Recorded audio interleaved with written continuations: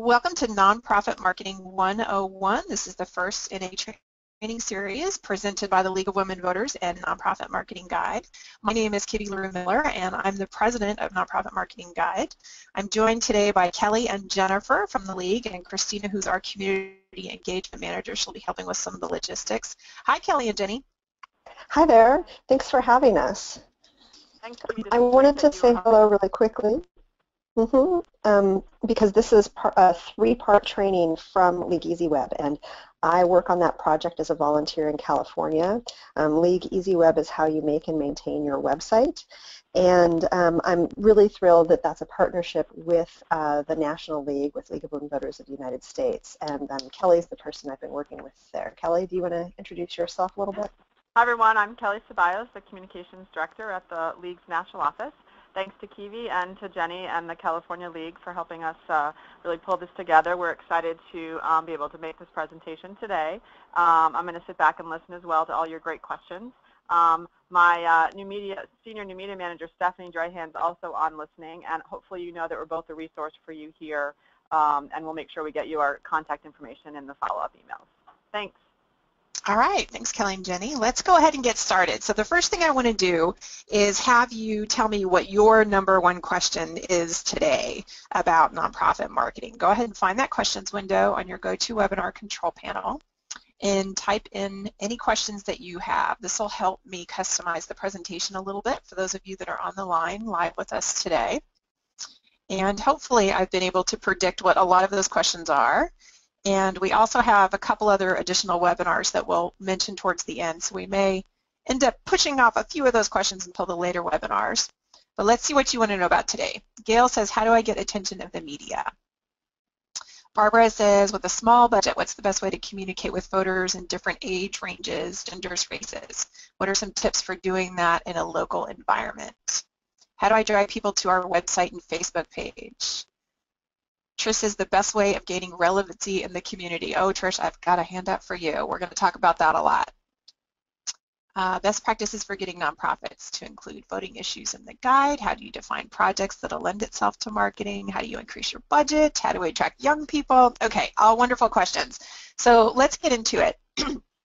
I do want to apologize if I end up coughing in your ear. I'll try really hard not to, but between all the shifting weather and the allergies, I'm a little cro uh, croaky here today. So we're going to do three main things. We're going to cover some key concepts in nonprofit marketing.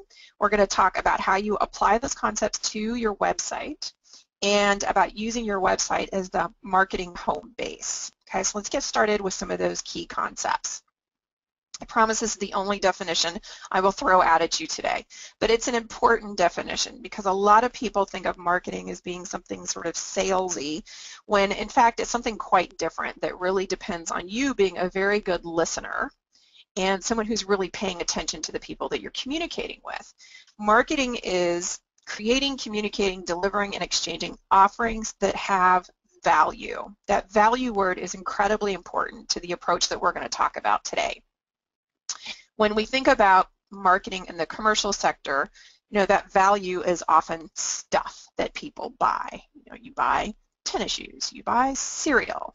In the nonprofit world, we're not selling stuff, but we're selling things that have value, very important value to people. For organizations like the League, that value often looks like trusted information, um, access to different events or people or ways of thinking. These are things that are important to people that the league is making available to them in ways that you know might be a little more difficult for them to achieve on their own. And so that's some of the kind of value that you would provide. So we often get questions from people that are not accustomed to the idea of marketing being something that nonprofits do, like, well, isn't marketing just that fluffy stuff that you only really do if you have time? And of course, when you're looking at our definition of marketing, that couldn't be further from the truth. Marketing is really about that value exchange, and you have the goods that people want. And so we're, we're focusing on ways to communicate that's exchanging that value, that's giving people what they really want and what's really relevant to them. sometimes we think of marketing as a bunch of flash, right? It's got to be glitzy, and therefore it's slick, and therefore maybe it feels inappropriate for a nonprofit, especially for an organization like the League that is trying, you know, doesn't want to be all flash, but wants to be serious, neutral, informative, really helping people make better decisions. And again, it's not about being slick. It's about being valuable and being so relevant to people that you become a natural part of their everyday conversations. If you think about the best brands in the commercial sector that you like, the brand names that you use, you don't think of them as having slick marketing. You think of them as naturally fitting in to the way that you live in the world, whether it's the kind of coffee you drink or the kind of clothes you wear. It's part of who you are, and it's part of your everyday conversation. So we don't want slick marketing. We want highly relevant, valuable marketing for people. So, well, okay, that all sounds fine, some of you may be saying, but this doesn't really sound like it's my job. And of course, in the nonprofit sector, it is in fact your job. It's everybody's job. Getting people to pay attention to you is hard work.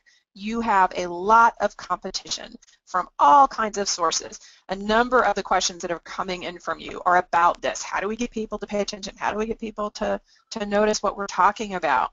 You're competing against thousands of messages that are put into people's eyes and ears every day. And you've got to be relevant that means you can't just pawn it off on one volunteer and say it's somebody else's job. Every, with, everyone within your organization needs to work on this together and needs to understand how to effectively provide that value. We're going to do a whole separate webinar just on roles and responsibilities and how you work together as a team to make that happen. And of course, some nonprofits just say, hey, we just don't do marketing. That's not what we're all about. And again, yes, the most successful ones most definitely do marketing because, once more, it's about that value exchange. It's about finding what's the best stuff that you have to offer as an organization and delivering it to the people who want it. That's what good marketing is. So that's what we're here to do today, is to help you figure out exactly how you do that in a context that feels right for the league as you're looking at your marketing decisions, what you're saying to who and where you're saying it, you're answering three questions all the time. These three questions should ground your conversations in marketing. And I'll tell you right now that most people want to jump to what I'm labeling as the third question, which is what do I have to put on Facebook? Should I be using Twitter? How many times should I email? Those are the delivery questions. But you actually want to start with two earlier questions. The first one is who. Who are we trying to reach? And another way to think about this is simply who cares? Who cares about this topic? We're going to talk about each of these in a little more depth, but let me just go through the, the three questions first. The second question is what's the message to them? And often this includes a call to action. So what is it that you are trying to get them to do? And then why should they do it? So simply, so what?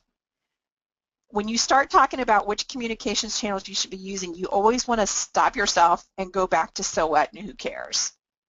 Focus on the right message for the right people before you figure out the best way to deliver that message. Okay, this is probably half of what I do as a marketing coach and consultant with nonprofits is get them to stop focusing on question number three and to deal with question number one and two. And you can answer them in either order. Sometimes you know what your message is, and you need to figure out who are the right people to hear that message. Other times you know the kinds of people that you're trying to reach, and you need to figure out a message that's going to be most appropriate for them. So it's a sort of a constant circle back and forth, but you've got to have a handle on that before you can really figure out the best communications tactics to get that message to those people. Okay, so let's let's go back into these three questions in a little more depth here. And I do want to encourage you to uh, send in questions as we go. I don't like to, eh, to wait until the very end of the presentation. I like to sort of take them as we go. And I'll stop at different points and try to skim over the questions and see what you guys are asking about.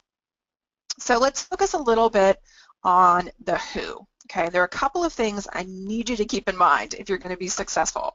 The first is that there is no such thing as the general public.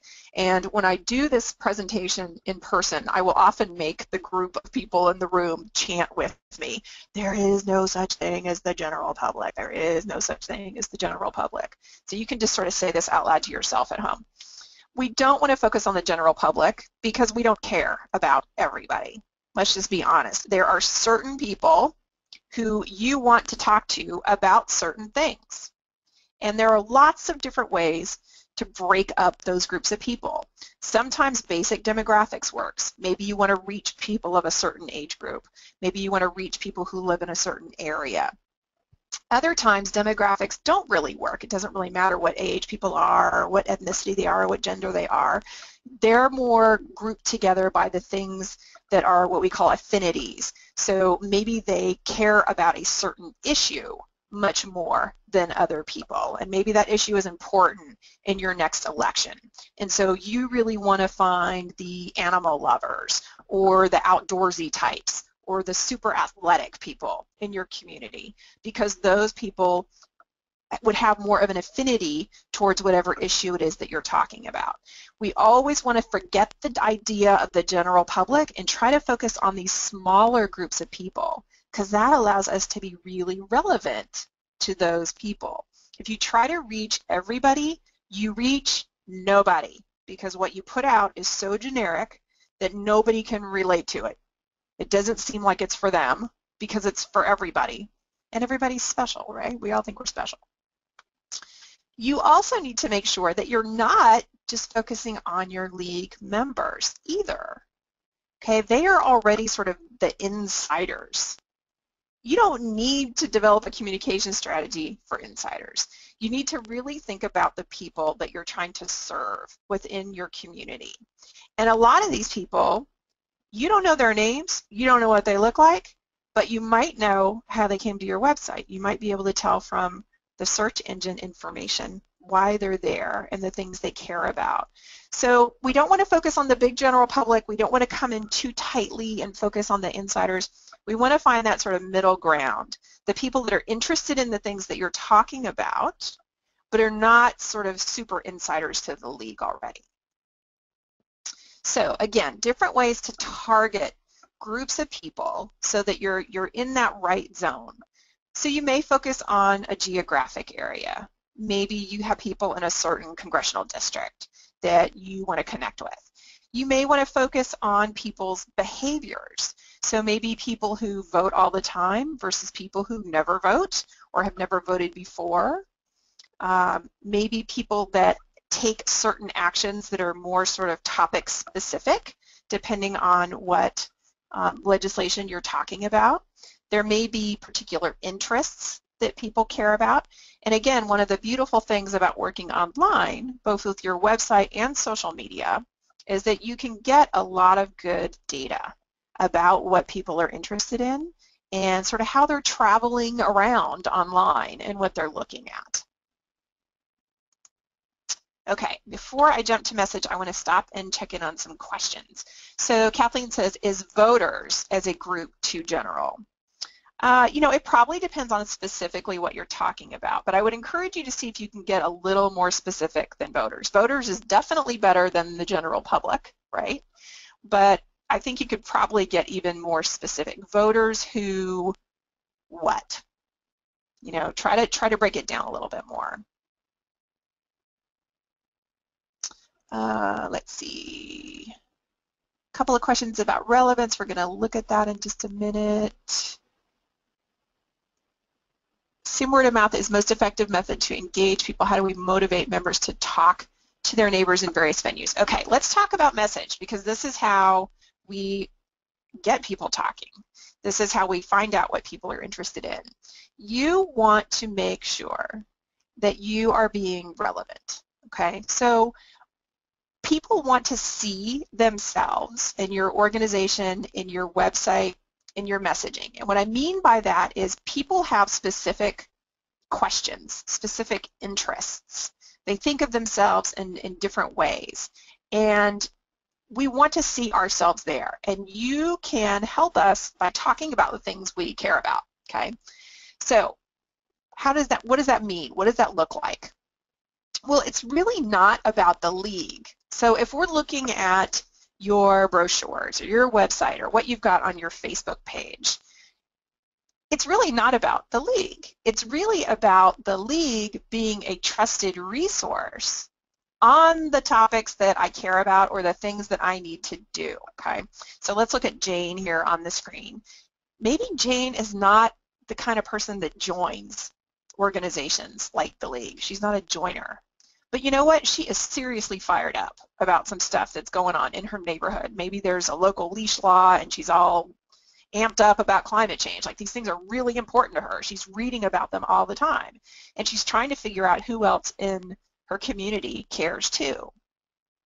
Well, you shouldn't be looking at, oh, we need to figure out how to make Jane a member of the league. What you should be looking at is, wow, people like Jane, let's make sure that she sees us as a trusted resource. So we want to have maybe information about that local leash law or about climate change. For a lot of you, the sort of basic topics are natural things to an organization like yours that you know about, registering to vote, redistricting, elections, the big issues in your area, whatever those local issues are, as well as some of the national issues that you see getting a lot of play in your local press. Those are the things that belong on your homepage. Those are the things that belong in your materials, not information about the league per se. Again, it's really about positioning yourself as a trusted resource as opposed to this organization that you're trying to get people to join. Now that doesn't say that you don't ask people to join the league. Of course you still want to do that, but that's not how you open the conversation. You open the conversation by talking about the things they care about. There are lots of different ways to be relevant. I have found that these six are sort of the easiest ones for nonprofits to do. So we've created this checklist, and whenever you're writing something, whether it's an email or a website copy or something to go online on Facebook or Twitter or wherever, make sure you're hitting at least one of these. And if you can do more than one, then you know your odds are much better for that content working. So you can download this if you go to mpmg.us slash 6r. Do not use the WWs. But you can download this little sheet and print it out and keep it next to your desk. we're just going to go through these quickly here.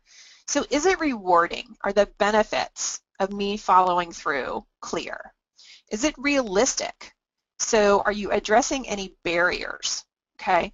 When we see these huge lines to vote, that's a barrier, right? People don't have time to go stand in line for three hours to get to their polling place. So that's a barrier you might want to talk about. If you experienced that kind of problem in your last election, you might want to talk about it this time and how hopefully those things have been addressed. Is it real time? Does it feel like it's happening right now? Is the context about what's happening right now? we sometimes refer to this as newsjacking. So you're sort of hijacking the headlines with your stuff. You're attaching your thing to what everybody else is talking about. Obviously, in election years, years, that's much easier for all of you than in off years, but you can still pay attention to what's going on in the news and connect your stuff to the headlines. It makes it feel more relevant. You want to be responsive. Maybe you're having meetings and people are talking about an issue in person, make sure you bring that conversation online. It shows other people that you're paying attention. Similarly, you want to listen to what your community is talking about through social media and bring that into some of your content too. It's how you can demonstrate that you're part of the conversation and responsive to it. People like to know new and interesting things. It's just a basic human nature. So if you can be revealing, if you can show them things that maybe they didn't know, highlight things that are going on in your community, show some things behind the scenes. People really like that a lot too. And then our final 6R would be refreshing. And this is where you can do things that are sort of a little quirky or off-kilter in some way, um, but maybe funny. Humor is a great way to be refreshing you still want it to be, uh, you know, authentic and real and on message, but you know, maybe just a little different so it catches people's attention. Social media is a great place to experiment with being a little quirky and a little surprising and a little refreshing. Okay, so always try to be at least one of these things, rewarding, realistic, real-time responsive, revealing, or refreshing. And just play around with the word choices and the examples that you use to make the messages more relevant for your target audiences. Okay, let me see. How are we doing on this? Any questions about the six R's or message relevance? Okay, I see someone saying the link is not working. That occasionally happens with these shortcuts. So we'll make sure that this handout is part of uh, the handouts on the League website. So when you get sent an email that has all the different links to the recordings and everything, we'll make sure that the full link is there too. Those link shorteners don't always cooperate. Okay, so we've talked about focusing more on people. We've talked about really making your message more relevant. Now you have to figure out how to send that message out. And you have lots of communications channels to choose from, obviously. You want them to be a well-oiled machine that is cooperating together. We're going to focus more on your website today as part of today's webinar and this series. But you want to make sure that you don't have somebody working on the website over there who never talks to the person that's doing the email, who never talks to the person that's doing Facebook. All of that needs to be well coordinated so that people are seeing similar messages in all of those different places. It may be that someone follows you more closely on social media, but when they click over to the website, you better make sure that they see what they expect to see based on what you're putting on Facebook. Same thing with email, okay? So it's all got to work together. There are a ton of really great resources that the League has put together for you. And one of the uh, handouts that you'll get later has a long list of the best stuff. Uh, these are some resources that are particularly helpful for the kinds of things we're talking about today, really honing in on your target audience, knowing your, what your message is, and then figuring out the best channels to deliver that message. The, the National League has tons of great stuff that you can use yourself. Steal from them. It's not stealing. They're giving it to you. Take it. Okay, use it. Social media, lots of templates. You can just copy stuff that they've given you. Huge head start. You don't need to make it up as you go yourself. Okay, so those are sort of the big concepts in, in nonprofit marketing. Marketing is something you need to do. It's a good thing. Everyone should be involved and you want to be asking the three questions. Who am I talking to? What am I saying to those people? And how am I delivering my message? Okay, those are your basic 101 concepts. Now let's get a slightly more sophisticated and apply them to your website specifically. Okay, so remember, marketing is about providing value to people. It's about that exchange. So how can a website provide value? There are a couple of key ways that websites do that and that you should be thinking through locally for your organization as you're building out your website. What we don't want websites to do, what bad nonprofit websites do, is dump a tremendous amount of information online and create this maze through which people have to click and scroll forever to get the little bit of information they want. Okay, so we, we don't want to create these online mazes for people. What we want to do are a couple of basic things. You want to answer their questions, you want to solve their problems, and you want to inspire them to take action. So I warned you at the top of the webinar I was going to have some questions for you, and this is the time. So make sure you've got your questions window open, and you can answer my question. So answering questions, this should be a huge part of your website content strategy, answering their questions, okay? So think about your target audiences. Think about the people in your community, not league members, not just random people out in space, general public, but think about the different groups of people in your community who have questions that the league could answer what might some of those questions be? Go ahead and type in the questions that I might be, if I'm sitting in your community at my house on my laptop or even on my phone, and I'm going to type in a question into Google because most, question, most, most people are typing some form of a question into Google. How do I, what is, that sort of thing. What am I typing that you want to be able to answer as a league? Okay, some of the questions that are coming in. Who is my municipal clerk? When is my next election? How do I get ID so I can vote? How do I register to vote? How do I get my student away at college to vote? When is the town meeting? How do I file an initiative? I've moved. Can I still vote? How do I learn about the candidates? Where do I vote?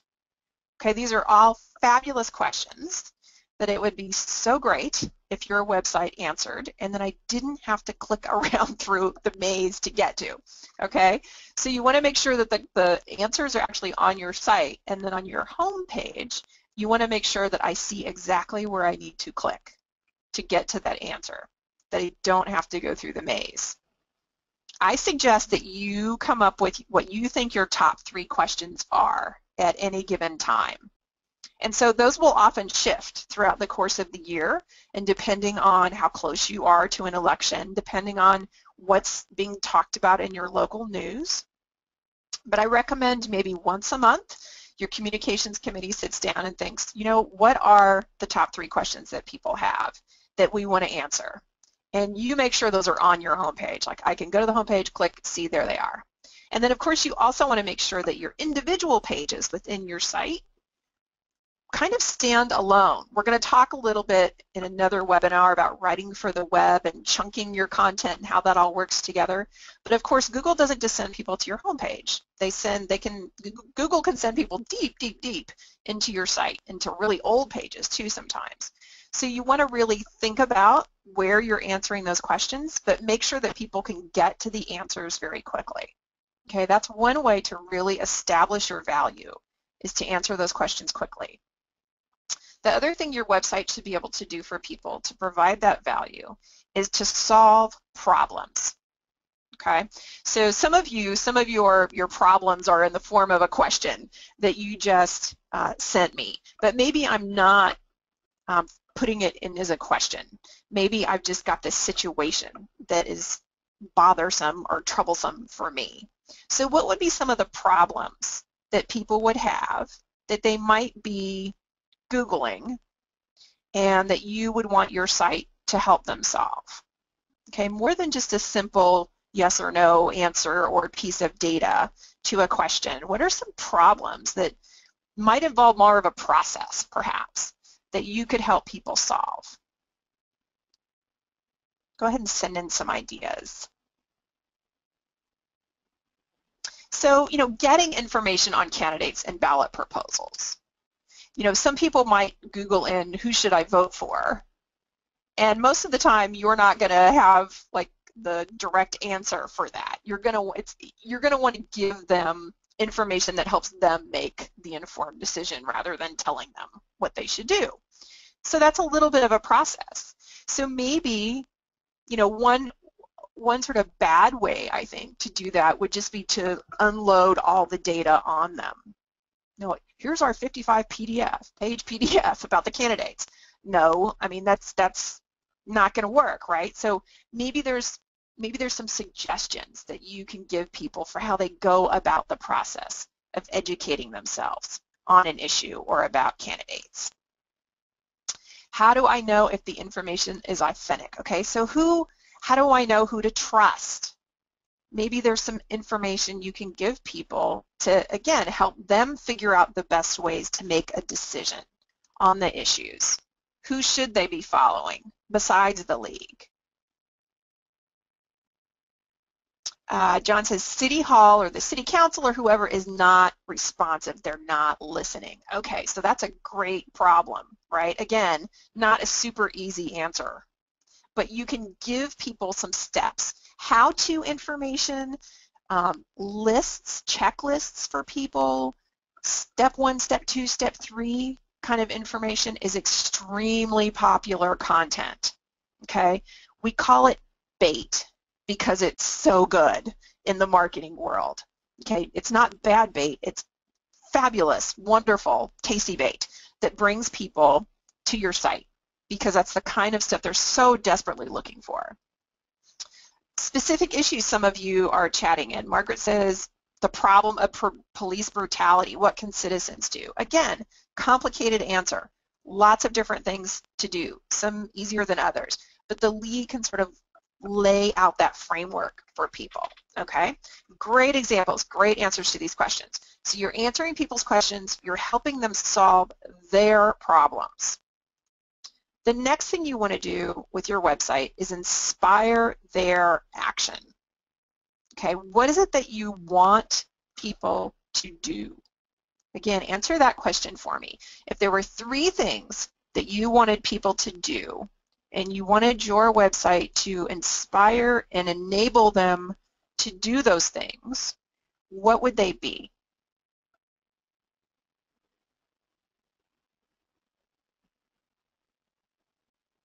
What sorts of things do you want to inspire and enable people to do?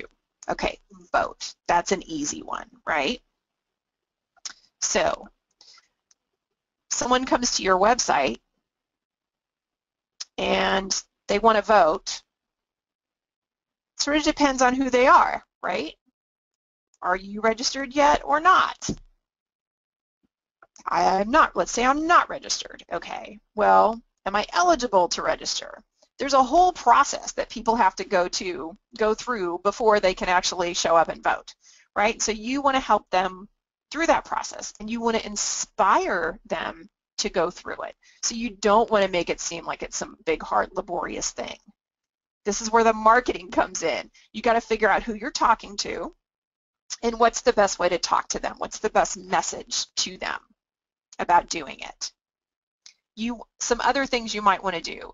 Be a citizen observer. Inspire people to bring their friends. Become a better uh, informed voter inspire people to work on campaign finance reform, to follow local politics, not just national politics. Inspire them to be a leader in their community in some way. Inspire them to visit their legislature, to talk about an issue, to attend candidate forums. Okay, so these are all great calls to action. But again, we need to know who we're talking to and what our message is. What's going to compel them to want to do that? Why should they want to go talk to their legislature? Why should they try to learn more about an issue? Why should they attend this public meeting? You can't just preach at people. You can't just make them feel guilty. You have to really understand who they are and make it relevant to them. Okay, so this is where you go back to your six R's and try to figure out how do I really get people to do these things. And that's what you want your website to be. You want it to be answering questions, inspiring action, making it easy for people to solve problems. Okay, so we've taken the big marketing concepts, we've tried to apply them more specifically to your website. I want to talk a little bit now about how your website is really the hub of your marketing strategy, of your communications plan feel free to keep sending in those questions. Think of your website as the place where all paths lead eventually. All clicking online leads eventually. Doesn't mean like every single link that you put online is going to take you immediately to your website. But generally speaking, that's what the path looks like, okay? So your website should really be at the core of your communications plan. And there are a number of reasons for this. The biggest one is because it's the only thing online that you truly control. Everything else, whether it's email or social media, has a lot of other hands on it. You know, with Facebook, they're constantly changing the way that pages work and the newsfeed works. So you can come up with a strategy that works really well, and then Zuckerberg and team change up the algorithm, and suddenly your stuff doesn't work so well anymore. With email, your email can be going out, and there could be some new filter that Gmail comes up with, or that the different spam cops, the different companies start tagging as spam. So, you know, you can control what you put in your email, but you don't control the process of delivering that email to someone else. Same thing with PR. we all know that, you know, you don't control what reporters say in the paper. And oftentimes what you thought was the most important part of the interview shows up nowhere in the press. Again, no control there. When you're doing events, again, you don't know exactly what's going to happen. You don't have control over that. You've got 50 people in a room or 150 people in a room. Who knows what's going to happen? Okay, your website is the one thing that you can control. And so you want everything to sort of link back to that. You can control what's on the home page, which you can't do anywhere else. You can control what people see first. Okay, it's, it's the one place where you are truly the master of your domain online is on your actual website domain. Okay, so everything else needs to sort of feed back to the website. You want to make sure that when you're talking on social media, talking on Twitter, definitely share links from other good resources. But make sure that you're sharing links back to your own site too. Same thing goes with email. Don't be throwing thousands of words out at people in email. Send them things that are short, easy to skim, easy to digest on my phone while I'm standing in line at the grocery store, that I can just click on a little thing and go to your website to get all of the detail. Okay, we'll talk a lot more about writing for the web and how this really functionally works with actual content in another webinar.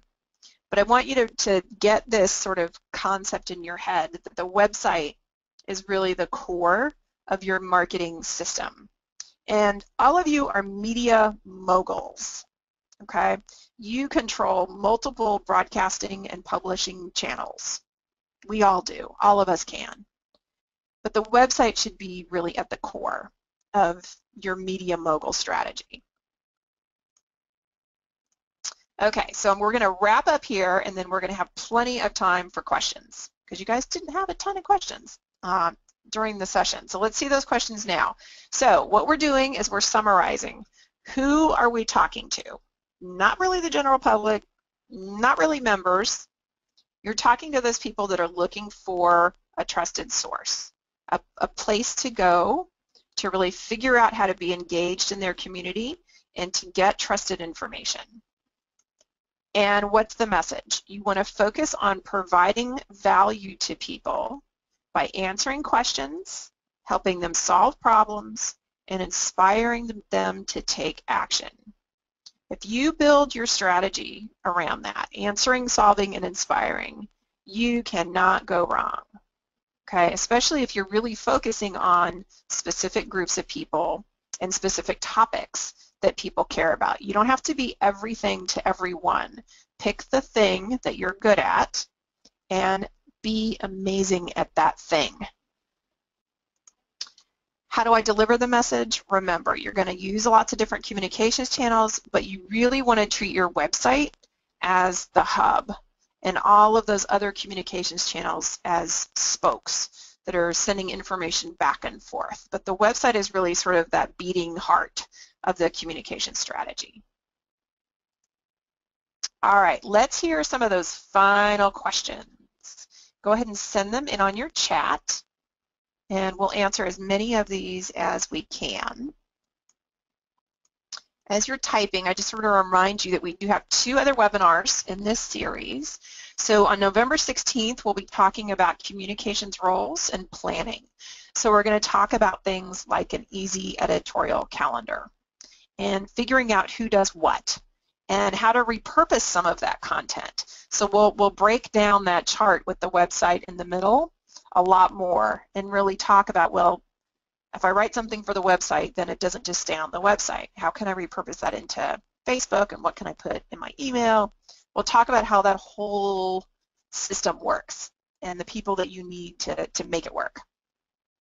And then on December 2nd, we'll have more of a writing workshop style webinar where we will really teach you how to write so that your writing will be read because writing for the, the web, writing for email, social media, and online is very different than if you're writing for print. Our eyes move differently. We process that information differently. So we'll, we'll talk about that on the second as well. Okay, so let's look at some of these questions that are flying in here now. Should we always be serious or have some fun on the website, says Grace? I encourage you to find a good balance that feels human, okay? So, you know, I think the league's brand overall is pretty serious. I think there's some room for you guys to have fun. Now, that doesn't mean that you go do things that are way out of character. That's not what I'm suggesting. But I'm sure there are things that you could do that would be more fun. So yes, I encourage you to brainstorm that, Grace, and to think about it. Uh, let's see. How does the webmaster know how many people are using which page? You will be able to get that information and um, they'll be sending you, those of you that are going to participate in the, the LEW project will be getting lots more guidance on how to figure out exactly who's looking at what and where those people came from. How do you rate the various social media platforms as investment or priorities for leagues? Instagram, Twitter, Facebook, Google+, LinkedIn. So I will tell you what the national data says, excuse me, not for leagues specifically because I don't work with just leagues, I work with all kinds of nonprofits. Twitter and Facebook are really the sort of king and queen, king being Facebook, queen being Twitter, I guess. I mean, they're sort of neck and neck depending on which demographic you're looking at. Um, but those are really the, the, the big ones. Um, Facebook is really good for conversational content things you want people to react to, asking questions. Twitter is really good for uh, sort of information sharing. It's a very sort of link-based network. So if you've got, you know, 10 tips for this or that, or three easy steps for this or that, that is perfect content for Twitter. So I could see where a league could do a lot of good information sharing and link sharing on Twitter and then encourage more community conversation and more back and forth. I think that's easier to do on Facebook. Instagram, if you have things to take pictures of, is wonderful. And Instagram is definitely um, a, sort of a younger demographic now. Like Facebook, again, I'm speaking nationally here, Facebook has been kind of taken over by, you know, us old people, the Gen X and the boomers. If you're trying to reach younger, younger demographics, you typically want to try something like Instagram that is still a mainstream network but does trend younger. The, the really nice thing about both Twitter and Instagram is that they're much more public and open than Facebook and the hashtags are a huge part of Twitter and Instagram. So everything that, that goes out on Twitter and Instagram usually has a hashtag with it. And so it allows you to sort of pull in content from lots of other voices that you might not even ever know. It's a really good place to do research on who's talking about what. That's a little harder to do on Facebook because so much of Facebook is locked down to you know, friends of different people or people that have liked a page or members of a group, Twitter and Instagram are much more open. And so it allows you to see more of the real conversation that's going on. There are lots of other social media networks, so some of you are talking about Tumblr, Snapchat. You know, again, I think if you have a specific audience that you're trying to reach and you determine that those are the best channels to reach those people, then I think that's fine. But generally speaking, I would start with Twitter and Facebook and Instagram. Google Plus, no. I mean, that's basically being shut down. I wouldn't worry about that. Um, shut down as a social network anyway. And then LinkedIn, you know, it, again, it really depends. I think LinkedIn can be helpful if you're trying to reach people because of who they are at work. Let me put it that way. Um, if you only want to talk to certain people because of their profession and that's how you're doing your targeting, or certain people who work at a certain company, maybe you have a huge corporate employer in town, then LinkedIn can be very helpful in those ways. Okay, let's see other questions that are coming in. Some of you uh, are asking about Hootsuite. Hootsuite is a tool that allows you to keep track of a lot of different content that you're listening to as well as the content that you're sending out. So it's really, it's a management tool, especially for Twitter, but you can use it for the other social platforms as well. I'm just reading some more of the questions. Kivi, there's one that I have. People had asked um, in the questions about whether these questions are saved or can be sent out in any way with the answers, and I didn't know the answer to that one. They are saved. So um, at the end of the webinar, we can download a file that says who was here live and who wasn't. So Jenny will know if you came or not. And um, it will also have the answers to anything that you chatted in next to your name as well. Uh, let's see. Jenny, did you see any questions from earlier that you wanted to make sure I answered? I'm sort of skimming now, but if, if you remember seeing some earlier, feel free to moderate questions. Sure. Well, I thought it was an yeah, I thought it was interesting. Someone had asked us, how do you define a project which would lend itself to marketing? And my gut response was, well, everything could be appropriate for marketing, so I guess it depends on your overall priorities. But I'm curious how you would answer that question. How do you define a project that lends itself to marketing? Well, you know, I think I agree with you in that, you know, everything deserves a, a, basic, quick and dirty marketing strategy, which is who are we talking to, what's the message, and how are we delivering it. But I think in what I hear when I hear someone say, what's a good project, it's sort of like, you know, what's something that deserves some extra time and attention, perhaps. Um, and so, you know, I think you have to go back to sort of what your strategic goals are for your league. So I'm just going to make something up. Maybe you really want to get people who are in a certain demographic, let's just say in their 20s to make sure that they vote. Then, you know, that could be a project where you spend more than just sort of the quick and dirty five-minute conversation on it, really thinking hard about how you're going to reach those people, what the message is, what's going to be the call to action, what are their concerns, what are their questions. I mean, this is where you really sort of go back to how can I be that trusted source? So I need to know what questions they have so I can provide the answers. I need to know what problems they have so I can help them solve the problems. And then of course the question is, well, how do you figure out what their questions are and what their problems are? We have to go talk to people who are in your demographic. And so you can see how this quickly becomes a project because you have to do some of this research. You have to really go talk to your target audience, figure out what their problems are, what their questions are, what they want to do that they don't know how to do, and that you can help them facilitate, you know, achieving their goals. Helping you know, other people achieve their goals is your goal.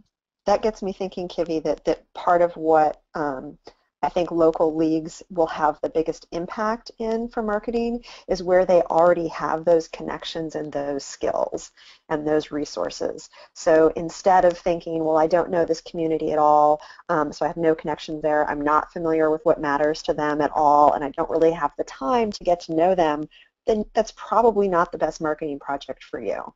If you want to invest in that, if you say, you know, this is so important strategically for my organization that I'm going to get to know people in that community and I'm going to really invest in understanding them and I have the time and resources to do that, then you would still choose it because that's a high enough priority and, and you're committing to it. But I think too often leagues don't acknowledge that they really don't have those skills and resources and they aren't making a real commitment and so they're not going to have success. They would have done better to go with the community that they might know a little bit better. Right. And so, you know, sometimes I talk about starting with the people that are leaning your way. And, you know, lots of times we do get very excited about, oh, wouldn't it be great if all these people who lived in this community or if all these people of this age group or this demographic, you know, were excited about our stuff too. But it's unrealistic because there's too many steps involved, like you said, to actually make that a reality. So instead what you want to do is focus on the people that are already looking your direction or leaning your way and just sort of firming up your your relationship with those people and and really doing an incredible job with those people It's usually much easier and like you said, much more effective where a lot of the work is already done because you're already a part of that community in some way or you have good connections with them. That's great. Another question that I saw is um, John Spangler had asked, is there some sort of timeline limit on what's real time and what's relevant? Um, so what are some of the ways that you think about what's timely and what's not? Um, you know, the news cycle is so fast, as you all know. And so, you know, if it's, let's just say, oh, I don't know, a national political candidate makes some kind of outlandish comment. You know, I think you want to jump on that if you were going to jump on it with something relevant related to your content, you had something meaningful to say on the issue. You know, I think you would want to try to do that at first at least within 72 hours. What that means is that you all are sort of ready to newsjack. You're, you're ready for that. You've talked together about what your issues are, about some possible ways um, to connect what you're talking about to things that are going on in the news. And you can practice this. So, you know, at, at, upcoming meetings or when you guys are getting together, you can look back over the headlines and and say, okay, you know, here's what so-and-so said or did. We could have done this. We could have done that. And if you have those conversations, even if you're looking back into the past, it starts to train your brain and train your your team for thinking that way. And so when things do happen in real time, all you have to do is get on the phone with someone and say, hey, you know, let's do this. And people are going to, you're going to have primed the pump already. Uh, and it'll be easier for you to, to jump on that and to capitalize on it.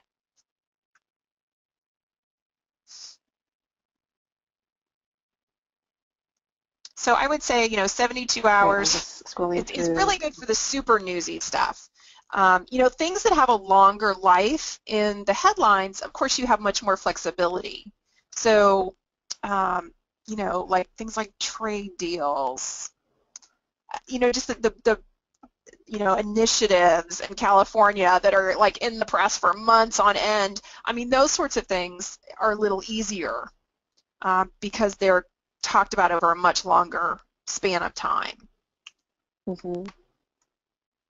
Great. Do you have time for one more question, or I'm just sure. noticing that it's 10:57. So, um, a great question I see here is, um, what do you recommend for internal communications among existing league members? And I'd say, in particular, how do you engage the newer members that have just joined and you want to really catch their attention? So, what I always recommend is to use whatever people are already using in their daily life. Like the worst thing you can try to do is to try to get somebody to use some piece of software they've never heard of and will never use for anything else. So, you know, when I think about how I communicate within my different circles, I have certain friends that we only text. I have other friends that we only Facebook message. I have other people that I don't communicate with at all unless I'm actually dialing the phone and using the phone as a phone and talking to them. So I think you want to figure out, you know, what are people's natural ways of communicating? They're already part of their lives and and see if you can make that work before you try to add lots of other things on top of it.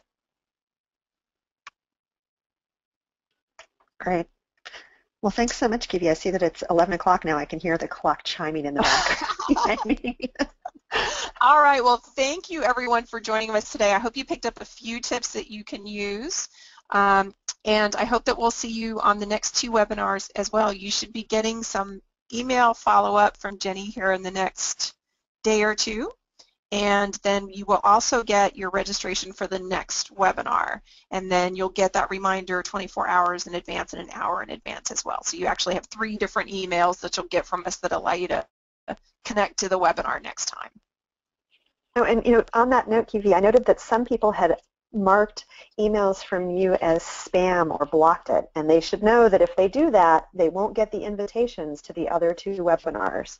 So we're going to go ahead and clear that out. But when you get these messages, just remember that you signed up for them. And if you mark them as spam, you're not going to be able to register, get your link unless you go into your spam folder. Yes, yes. And we may have inadvertently emailed some of you nonprofit marketing guide content that you didn't want. And that was a mistake. So we have tried to clear that up. If you decide that you actually want to be on our mailing list and get our newsletter every week, then just email me and let me know that and we'll make sure you get signed up for both. But otherwise, we will only be sending you information about this webinar series.